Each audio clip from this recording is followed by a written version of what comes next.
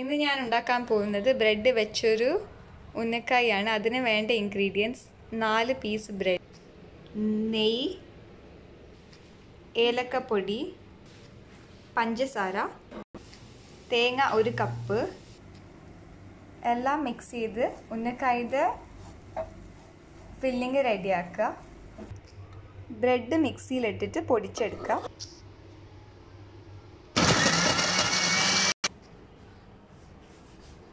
ഇതിൽ കുറച്ച് വെള്ളം ഒഴിച്ചിട്ട് അത് മിക്സ് ചെയ്തിട്ട് എടുക്കുക.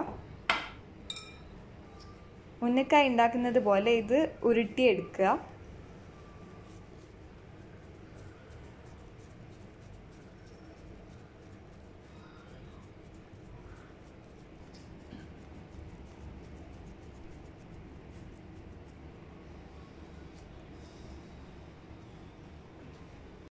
അതിന്റെ ഫില്ലിങ് അതിന്റെ ഉള്ളിൽ വെക്കുക.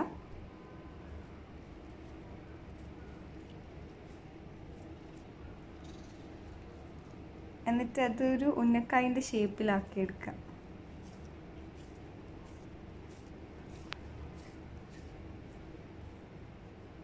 ഇത് ഓരോന്നും ഇങ്ങനെ ഉരുട്ടിയെടുക്കുക എണ്ണ ചൂടാക്കിയതിന് ശേഷം ഓരോന്നും ഫ്രൈ ചെയ്തെടുക്കുക